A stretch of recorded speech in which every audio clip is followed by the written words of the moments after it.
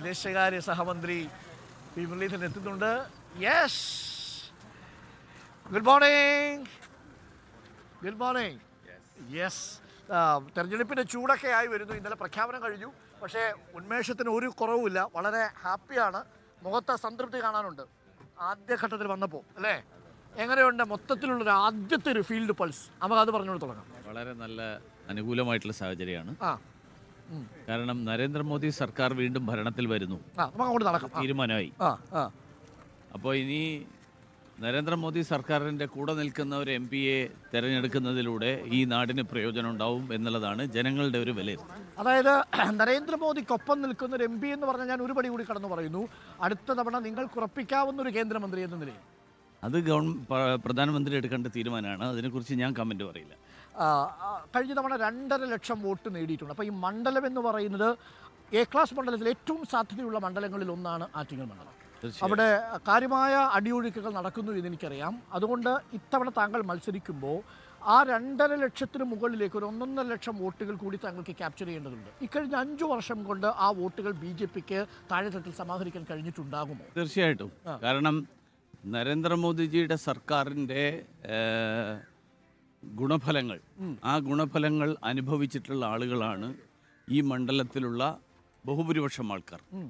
ആ ആളുകൾ സ്വാഭാവികമായും ആ സർ അങ്ങനെ ഒരു സർക്കാർ തുടരണം എന്നുള്ള താല്പര്യവും ആഗ്രഹവും ഉള്ള ആൾക്കാരാണ്. അപ്പൊ. അത് സ്വാഭാവികമായിട്ടും വോട്ടിങ്ങിൽ പ്രതിഫലിക്കും. അത് മോദി തന്നെയാണ് ഈ തെരഞ്ഞെടുപ്പിലെ ബി ജെ പിയുടെ ഗ്യാരണ്ടി. തീർച്ചയായിട്ടും. ബി ജെ പിയുടെ ഗ്യാരണ്ടി മോദി മോദിയുടെ ഗ്യാരണ്ടി ജനങ്ങളുടെ വെൽഫെയർ മെഷേഴ്സ് യെസ് ഇതല്ലേ? അതെ. ഇതാണ് ക്യാച്ച് വേർഡ്.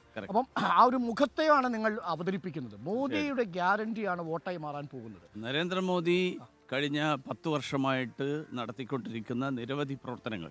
ഇപ്പം കേരളത്തിലെ ആൾക്കാർക്ക് പ്രത്യേകിച്ച് ആറ്റിങ്ങലെ ആൾക്കാർക്ക് ഏറ്റവും അവർക്ക് നേരിട്ട് എക്സ്പീരിയൻസ് ഉണ്ടായിട്ടുള്ളതാണ് ആറ്റിങ്ങൽ ബൈപ്പാസ് അത് പക്ഷേ അടൂർ പ്രകാശ് പറയുന്നു താനാണ്. അങ്ങനെയാണെങ്കിൽ അടൂർ പ്രകാശ് മന്ത്രിയല്ലല്ലോ. കേന്ദ്ര സർക്കാരിന്റെ ഭാഗമല്ലേ. അടൂർ പ്രകാശിന് നിവേദനം കൊടുക്കാം.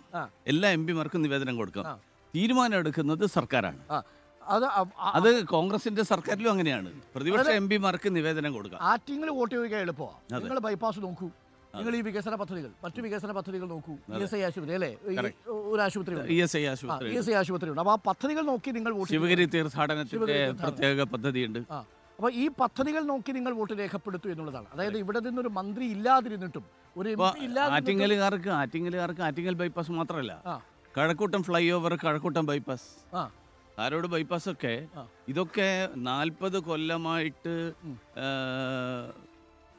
മുടങ്ങിക്കിടന്നിരുന്ന ഒരു കാര്യം. അത് നടപ്പിലായത് നരേന്ദ്രമോദി വന്നപ്പോഴാണ്. അപ്പോൾ ഞാൻ രാഷ്ട്രീയം പറയുന്നതിനോടൊപ്പം തന്നെ ഈ ചൂട് എങ്ങനെ മാനേജ് ചെയ്യുന്നു?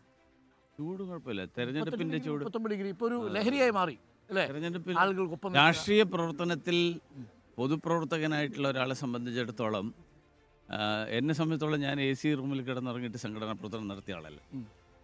അതുകൊണ്ട് എനിക്ക് ചൂടും തണുപ്പും ഒക്കെ ഒരേപോലെ ഞാൻ അനുഭവിച്ചിട്ടുണ്ട്. അത് മാനേജ് ചെയ്യാനുള്ള ശേഷി. ഒരു കാര്യം കൂടി നമ്മളിന്നിപ്പോൾ ഈ തെരഞ്ഞെടുപ്പ് പ്രഖ്യാപിച്ചത് ഇരുപത്തി ഏപ്രിൽ ഇരുപത്തി ആറിനാണ് തെരഞ്ഞെടുപ്പ്. ഇനി ഒരു നാൽപ്പത് ദിവസം എണ്ണിക്കൊണ്ട് മുപ്പത്തൊമ്പത് ദിവസമുണ്ട്. അപ്പോൾ അത് കഴിഞ്ഞാൽ താങ്കളുടെ ജോലി തീരുന്നില്ലല്ലോ. കേരളത്തിൽ നിന്ന് മറ്റു സ്ഥലങ്ങളിലേക്ക് കൂടി താങ്കൾ പോകേണ്ടി വരും. ഇരുപത്തി ആറാം തീയതി കഴിഞ്ഞാൽ മറ്റു മണ്ഡലങ്ങളിലേക്കും പോകേണ്ടി വരും. നിശ്ചയിക്കുന്നതിനനുസരിച്ച്. അപ്പോൾ ഒരു എൺപത് ദിവസം ഈ ചൂടത്തായിരിക്കും താങ്കൾ അല്ലേ? മെയ് അവസാനം വരെ. മെയ് അവസാനം വരെ. അത് കഴിഞ്ഞാൽ ഒരു റെസ്റ്റ് കിട്ടത്തുള്ളൂ. അപ്പോൾ ഇപ്പോൾ ഈ സമസ്തയുടെയും ലീഗിന്റെയൊക്കെ പ്രതികരണങ്ങൾ വന്നു. ഇരുപത്താറാം തീയതി തെരഞ്ഞെടുപ്പ് വെച്ചത് അവരുടെ ഈ വെള്ളിയാഴ്ചത്തെ ജുമാ നമസ്കാരത്തെ ബാധിക്കും. അതുകൊണ്ട് ആ തീയതി മാറ്റിവെക്കണം എന്നാണ് അവർ ആവശ്യപ്പെടുന്നത്. അവരുടെ ആവശ്യം ഇലക്ഷൻ കമ്മീഷൻ പരിഗണിക്കുന്നുണ്ടെങ്കിൽ അത് അവരാണല്ലോ തീരുമാനിക്കേണ്ടത്. സർക്കാരിന് അതിൽ റോളൊന്നുമില്ല. അത് ഇലക്ഷൻ കമ്മീഷനോ അത് അവർക്ക് ഇലക്ഷൻ കമ്മീഷൻ കൊടുക്കുക ഇലക്ഷൻ കമ്മീഷൻ തീരുമാനം എടുക്കട്ടെ. അത്രേ ഉള്ളത് അതിൽ നമുക്ക് ഇല്ല. തീയതി തീരുമാനിക്കുന്നതിൽ ഗവൺമെന്റ് സംസ്ഥാന ഗവൺമെന്റുകളോട് ലോജിസ്റ്റിക്സ് കാര്യങ്ങൾ ഇലക്ഷൻ കമ്മീഷൻ ആരായുന്ന പതിവുണ്ട്. അതിനപ്പുറത്ത് കേന്ദ്ര ഗവൺമെന്റിന് ഇലക്ഷൻ തീരുമാനിക്കുന്നതിൽ പ്രത്യേകിച്ച് ഒരു റോളില്ല അപ്പോൾ ഒരുപക്ഷെ വിഷു ഈസ്റ്റർ ഇത് ഏപ്രിൽ പത്തൊമ്പതാം തീയതി പൂരം ഉണ്ടായിരുന്നു. അപ്പോൾ ആ പത്തൊൻപതാം തീയതി കഴിഞ്ഞുള്ളൊരു ഡേറ്റ് എന്ന രീതിയിലായിരിക്കാം തീരുമാനിച്ചിട്ടുള്ളത് അതായിരിക്കണം. കാരണം കേരള ഗവൺമെന്റ് ആവശ്യപ്പെട്ടിരുന്നു എന്നാണ് ഞാൻ മനസ്സിലാക്കുന്നത്. ഈ നോമ്പ് കാലത്ത് തെരഞ്ഞെടുപ്പ് നടക്കരുത്. നടത്തരുത്. അപ്പോൾ അത് കഴിഞ്ഞിട്ടുള്ള ഡേറ്റ് അവർ ആലോചിച്ചു സ്വാഭാവികമാണത്. പിന്നെ കേരളത്തിൽ എല്ലായ്പ്പോഴും സെക്കൻഡ് ഫേസിലാണ് കഴിഞ്ഞ തവണയൊക്കെ നടന്നിട്ടുള്ളത്. അപ്പോൾ ആ സെക്കൻഡ് ഫേസിൽ നടന്നു അതിനകത്ത് അസ്വാഭാവികതയില്ല. അങ്ങനെ ഏതെങ്കിലും ഒരു സമുദായത്തിനെ നോക്കിയിട്ടൊന്നും തെരഞ്ഞെടുപ്പ് കമ്മീഷൻ. ഡേറ്റ് തീരുമാനിക്കുമെന്ന് എനിക്ക് തോന്നുന്നില്ല. അതെ